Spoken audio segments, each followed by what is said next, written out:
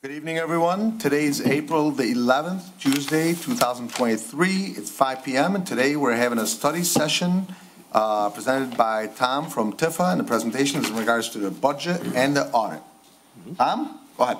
Okay, thank you, Council Chair. Um, I just want to start off by uh, saying that this is, you know, every year when we do our budget, we always have a study session uh, to be able to answer any questions you guys might have about the audit report and and also the budget. This year is unique. Uh, We received the audit report later than usual. We're doing the budget earlier than usual, so we've got them both on the same agenda for the same day. So uh, I'm here to answer questions on either one of them. Uh, First, uh, as you received our budget report, or audit report, I'm sorry, uh, the bound booklet. Um, It has, you know, the standards, the standard report as, as usual. Um, I wanted to point out, uh, it was, it was, you know, a question last year, I know, uh, Council Chair, that you had about our fund balance.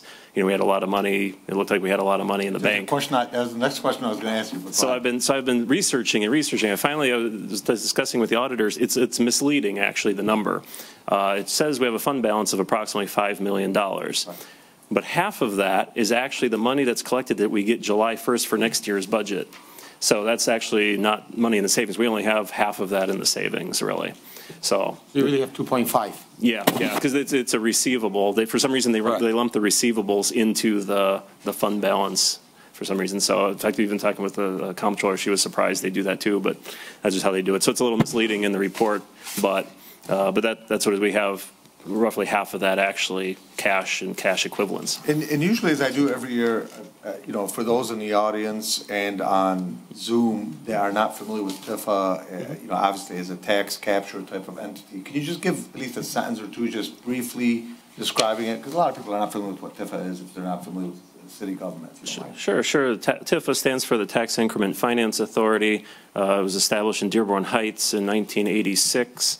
Uh, It allows, it's uh, basically an economic development tool that allows the, the city through the, actually the TIFA authority, the Tax Increment Finance Authority, to capture funds. Uh, And a lot of it, you know, is money that would have otherwise have gone outside the city uh, to other taxing entities that we're able to keep and then reinvest back into the community through projects that are approved through our, our TIFA plan that was established when it was set up in 1986.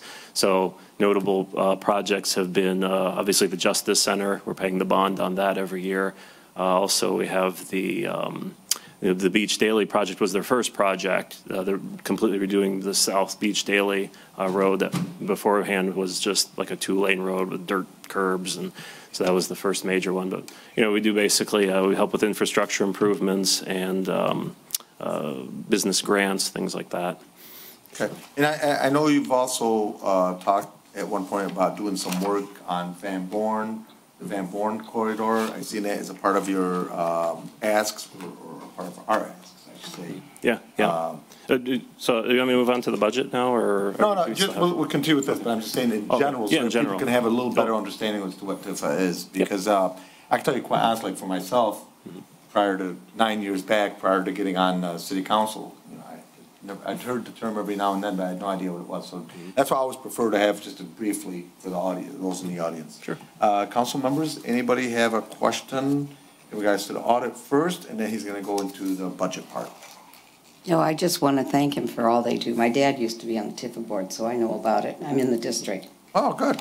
so we appreciate them. Sure. And, and for those in the audience, I'm glad you brought that up, uh, Councilwoman. Uh, the Tifa district is not the whole city, it's just different sections of the city. So it is not the whole city. So I, I, I get every now and then people asking me about different projects. Yeah. And it's not in every particular district. It's, it's the part of Dearborn Heights that's south of Michigan Avenue and west of Telegraph.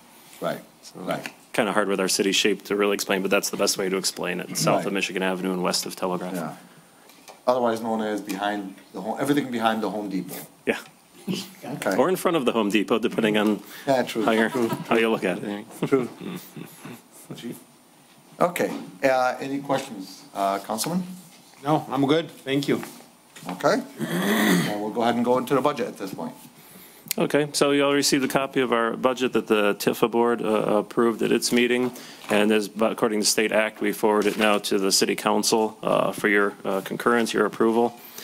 Uh, It's kind of straightforward. Uh, As you notice on there, it has last year's budget, approved budget, and then this year's uh, proposed budget.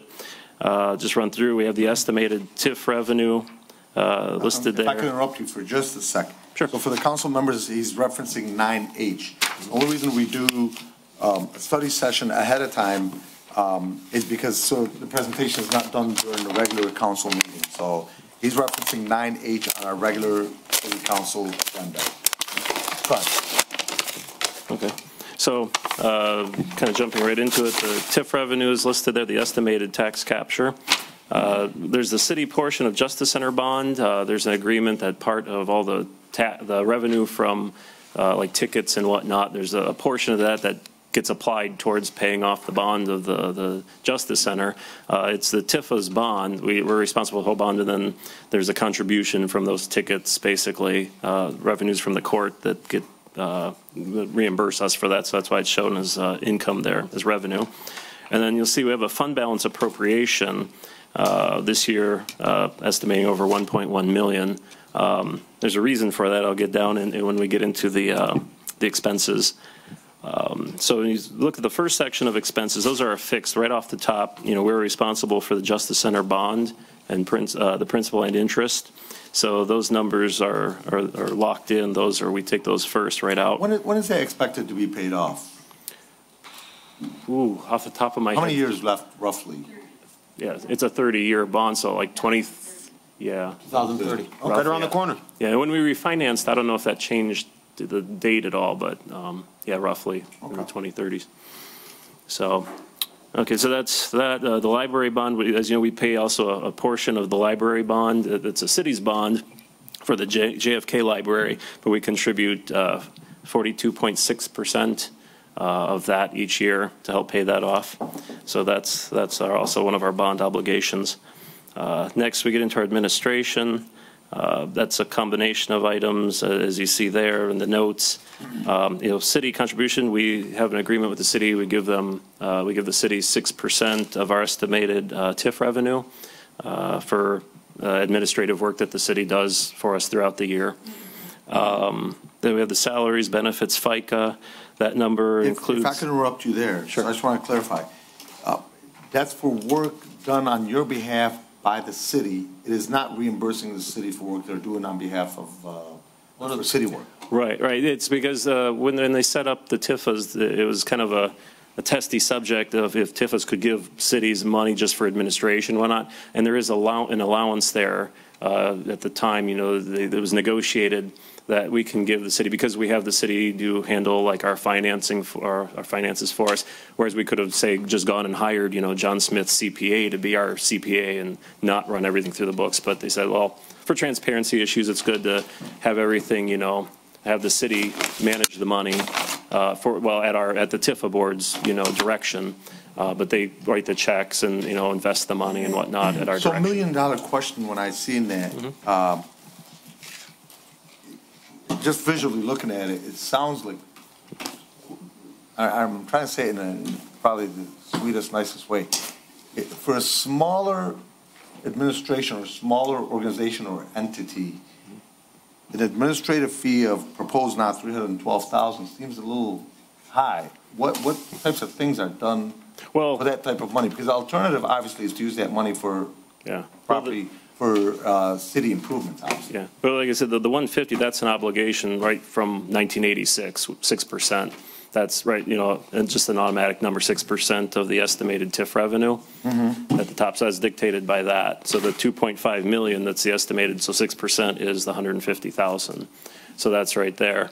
Now, then when you get into the salaries, benefits, and FICA, uh, that includes two employees, one full-time administrator director, and one part-time uh, office secretary. The full-time, of course, has the benefits and, and, you know, we have the FICA obligations and whatnot, so that's rolled into that. Plus, Okay, so it includes the salary? Yes, yes. Okay, that makes more sense. yeah, and benefits, you know, Right, health right, benefits. Plus, plus also, um, we keep a little cushion in there in case we have to hire any kind of part-time help through the year, or, you know, or if, if uh, expenses go up, you know, you know, healthcare can fluctuate. So that's also, there's a padding in there for that too, a little bit, so. Okay. So that's in there. Then the professional services, that's a combination of, you know, if we need uh, funds for auditors, attorneys, consultants, things like that. They used to be, we used to kind of think of them separately, but now we just kind of think of them together as a group. Then, you know, obviously just things like office supplies and mileage reimbursement, so that's, uh, that's the admin section. Uh, Then under the expenses, uh, they're pretty straightforward. Um, I'll point out Van Born since it was brought up. Um, uh, We had in previous years put 100,000 aside for the Van Born project, kind of in anticipation, but we weren't using it, so uh, we we knocked it- that to 50,000, but we did increase the commercial rehab program by uh, an additional 75, I mean, additional 25,000 up to 75, because that, that's our grant program that we give businesses who need to freshen up their buildings on the outsides and whatnot. And now that the uh, overlay district is in the process of being approved, it looks pretty close. Um, You know, there's going to be these new standards that everybody's going to have to meet when they do projects and stuff. So we're anticipating there may be some more people, you know, looking to do some work and needing some help. So we figured, well, we'll, we'll put more of the funds there right now because that may be a more And- immediate. and Is there, is there a financial, um, uh cap or anything like that as far as somebody applying for the, for The loan? The- Well, it's, it's a grant, actually, grant? uh, yeah. Um, The standard grant is $5,000. It's a, it's a matching grant up to 5,000. But But- if but it's a larger project, they can ask the board. Uh, There have been times where people applied to the board. Uh, Once, it was a very large project, they awarded 20,000, and a few times they awarded $10,000. But I'm saying there's no income to qualify. So in other words, i- i- it's not for a particular income Right. limit or. Right. It's just open to businesses who are in the Tifa district, who, uh, like, say, uh, they want to redo the facade of their building, put a new sign out, and it's going to cost them, say, it costs them $16,000. Um, If they, if they just want to take the, the $5,000 uh, grant, we can take care of that administratively, you know, between uh, the administrator and the, and the chairman. But if they want, say, to go for 8,000, you know, uh, we can, they, they would apply to the board, ask the board for consideration for a higher amount. Um, So that's, it's only west of Telegraph, right? yep, Okay. yep. Thank you. Yep. So then also, um, another, one I said I would point out especially here, if you look down the second from the bottom on the expenses, the sewers, uh, you know, we've been working with the administration the past year. uh, They've been putting together a capital improvements uh, uh, uh, list of, of uh, dealing with um, improvements that need to be done in the city. Uh, I was talking with the city engineer, and he said the, the, the big number one top priority so far, uh, he told me would be sewers, uh, at least at this point in time. That's what he's looking at, would be the sewers. Uh, So uh, we were able to contribute 1.5 million towards that, which is an unusual, unusual for us, but the city really needs, you know, some help. So we were able to take that basically from that fund balance, the half of the half that we thought we had. Um, So, we- you know, that, that that's going to help with that. At least at this point in time, you know, if there's a higher priority that comes up, you know, that can be, obviously, we could do, you know, a budget amendment if there's, if something changes. But at this point in time, that was the estimated uh, uh, big need, really, for the city to help with, so. That's where it can, and a lot of the other programs are kind of the standard, nothing really changed. It's the same categories we have, you know, as in past years, just maybe the numbers change a bit, but. If any of those, if you have any questions on any of Okay. those. Council Any Chair? questions on the budget? Go ahead. What's uh, contingency stands for? Contingency, i- it's like, you know, uh, for unexpected things. Uh, You know, like when you do a, a construction project, they say you should have like a 15% contingency, you know, in your budget, you plan, you know, money for the unexpected. Uh, So we put uh, a number like that aside. Uh, At first, when, the- when the auditors told us we should do it, we were figuring like 15%. We were looking at hundreds of thousands of dollars. But over time, we realized we didn't need that much, so we kind of whittled it down over the years to 100,000, just in case there's an emergency that comes up and 100%. we need something. Thank you. Thank you. Any other council members?